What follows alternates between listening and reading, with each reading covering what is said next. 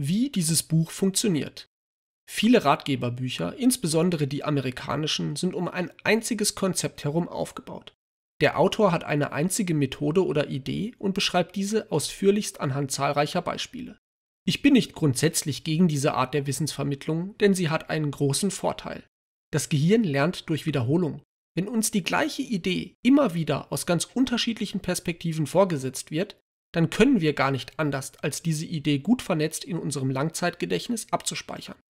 Allein durch das Lesen oder Hören des Buches wird die Idee zu einem dauerhaften Teil von uns ohne dass wir aktiv daran arbeiten müssten, sie uns einzuprägen. Dieses Hörbuch dreht sich nicht um eine einzige Idee. Die Themen Fokus und Konzentration eignen sich nicht dafür. Wer seinen Fokus und seine Konzentrationsfähigkeit auf Vordermann bringen möchte, muss an vielen verschiedenen Rädchen drehen und ganz unterschiedliche Hebel in Bewegung setzen. Es gibt nicht den einen Weg zum Erfolg. Dieses Hörbuch wirkt auf verschiedene Art und Weise. Auf welchen sechs Wegen sich sowohl dein Fokus als auch deine Konzentrationsfähigkeit durch dieses Hörbuch verbessern werden, möchte ich dir im Folgenden erklären. Erstens. Wissen wird dein Bewusstsein schärfen. Das in allen Kapiteln dieses Buches vermittelte Hintergrundwissen zu den Themen Fokus und Konzentration wird dein Bewusstsein schärfen. Dir werden in deinem Alltag Zusammenhänge auffallen, die dir bislang verborgen waren. Allein durch die Erkenntnisse, die du selbst gewinnen wirst, wird sich dein Verhalten ganz automatisch in eine Richtung verändern, die Fokus und Konzentration fördert. Wahrscheinlich werden das am Anfang keine großen Sprünge sein. Ein paar Kleinigkeiten hier und dort werden über längere Zeiträume hinweg dennoch eine große Wirkung entfalten, insbesondere wenn noch die anderen Wirkmechanismen hinzukommen. Seitdem ich mich mit diesen Themen beschäftige, sehe ich mich und die Welt mit anderen Augen. Meine Verhaltens- und Denkweisen haben sich verändert, wodurch auch mein Fokus und meine Konzentrationsfähigkeit besser geworden sind. Zweitens. Du wirst weniger abgelenkt sein. Du wirst lernen, die inneren und äußeren Ablenkungen auf eine intelligente Art zu reduzieren. Viele der täglichen Ablenkungen entstehen spontan in unserem eigenen Kopf. Wir lenken uns selbst ab. Mit diesen Störungen umzugehen ist nicht leicht, denn man kann sein Gehirn nicht einfach in eine Schublade verbannen, so wie man das mit dem ganzen ablenkenden Kram tun würde, der den Schreibtisch blockiert. Und was die äußeren Ablenkungen angeht, kommt erschwerend hinzu, dass das Gehirn eine gewisse Menge an Ablenkungen sogar braucht, bzw. erwartet. Ganz ohne äußere Reize erfindet das Gehirn einfach selbst welche. Es halluziniert. Der Königsweg zu mehr Fokus und Konzentration besteht daher darin, ablenkende Reize durch Reize zu ersetzen, die Fokus und Konzentration fördern. Dem Thema Ablenkungen ist ein großes Kapitel in diesem Hörbuch gewidmet. Wer es schafft, nur die größten Ablenkungen zu entschärfen, ist schon fast am Ziel. Drittens. Du wirst einen stärkeren Willen haben. Willenskraft ist immer dann erforderlich, wenn wir uns auf Pflichten konzentrieren müssen, die von sich aus wenig motivierend sind. Büroangestellte, Schüler und Studenten kennen diese Herausforderung. Man muss seinen Willen anstrengen, um sich einer unattraktiven Aufgabe zuzuwenden. Und man braucht von Zeit zu Zeit Willenskraft, um an der Aufgabe dran zu bleiben, anstatt sich der erstbesten Ablenkung hinzugeben. Willenskraft wurde in den letzten Jahren intensiv erforscht, mit erstaunlichen Ergebnissen. Ähnlich wie Erfolg im Kampfsport hat auch ein eiserner Wille sehr viel mehr mit Strategie und Technik als mit Kraft zu tun. Wir wachen jeden Morgen mit einer begrenzten Portion Willenskraft auf, mit der wir klug haushalten müssen.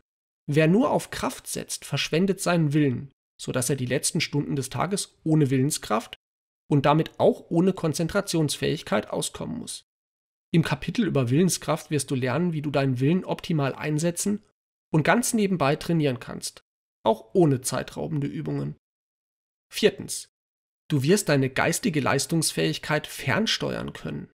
Das Gehirn bringt alle Voraussetzungen für Fokus und Konzentration von Haus aus mit. Wir können uns gut konzentrieren, aber nicht unter allen Bedingungen. Wie gut man sich zu einem bestimmten Zeitpunkt konzentrieren kann, hängt von bereits vergangenem Verhalten ab. Und durch unser Verhalten jetzt stellen wir die Weichen für unsere Konzentration in naher Zukunft.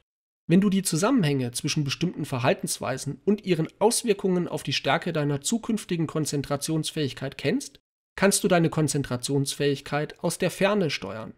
Die wichtigen Zusammenhänge lernst du in diesem Hörbuch kennen. Fünftens. Du wirst den Weg zu künftiger Dauermotivation kennen. Tätigkeiten, die uns motivieren, ziehen unseren Fokus an wie ein Magnet. Unter optimalen Bedingungen können wir uns stundenlang und fast mühelos auf diese Tätigkeiten konzentrieren. Man bezeichnet diesen Zustand als Flow und er ist wissenschaftlich gut untersucht worden. Im Flow-Zustand erreichen wir die besten Ergebnisse und wir fühlen uns dabei so richtig gut. Wer das Zusammenspiel von Motivation und Fokus und Konzentration versteht, kann leicht herausfinden, welche Tätigkeiten seinen Fokus in den nächsten Jahren magisch anziehen werden. Er kann sein Leben so planen, dass es in Zukunft regelmäßig zu Flow-Zuständen kommen wird. Wie du herausfindest, was dich in den nächsten Jahren motivieren wird, erfährst du in diesem Hörbuch. Sechstens. Du wirst Orte erreichen, an die man weder mit Motivation noch mit Willenskraft gelangt. Es gibt Orte, die weder mit Willenskraft noch mit Motivation erreicht werden können. Wer seine Willensenergie tagsüber im Beruf komplett aufbraucht und von Sport nicht intrinsisch motiviert ist, wird es kaum schaffen, nach Feierabend Sport zu treiben. Auch wenn er genau das im Prinzip gerne tun würde. Hier kann nur die Gewohnheit helfen. Wie du ganz einfach dauerhaft neue Gewohnheiten bilden kannst, erfährst du in diesem Hörbuch. Der indirekte Weg zu mehr Zeit und Geld. Fokus und Konzentration hängen mit vielen Variablen unseres Lebens zusammen. Zwei besonders wichtige Variablen sind Zeit und Geld. Wenn man Menschen fragt, wovon sie in ihrem Leben gerne mehr hätten, dann lauten die beiden häufigsten Antworten mehr Zeit und Geld. In dieser Reihenfolge. Am liebsten hätte man von beidem mehr. Genau das scheint aber unmöglich zu sein, denn Zeit und Geld scheinen ähnlich wie eine Wippe auf einem Kinderspielplatz zu funktionieren. Wenn das eine Ende der Wippe nach oben geht, dann geht das andere Ende automatisch nach unten. Je mehr man Geld anstrebt, umso weniger Zeit bleibt einem für die anderen Dinge. Und je mehr Freizeit man sich nimmt, umso weniger Geld verdient man. Es gibt einen Ausweg aus diesem Dilemma. Man muss damit aufhören, Zeit und Geld direkt anzustreben.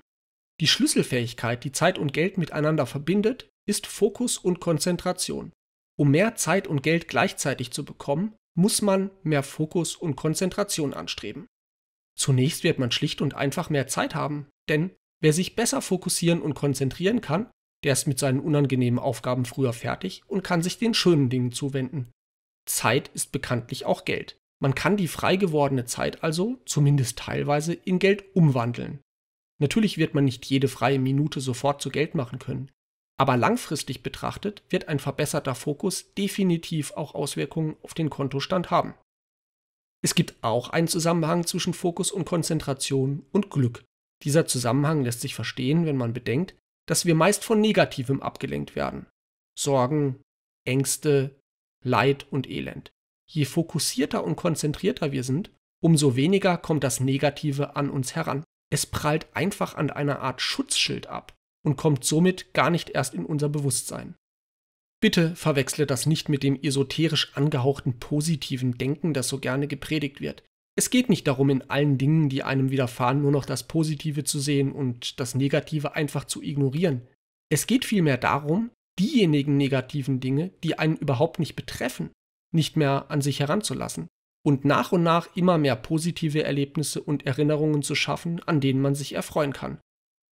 Bist du bereit, fokussierter und konzentrierter zu werden? Dann lass uns loslegen.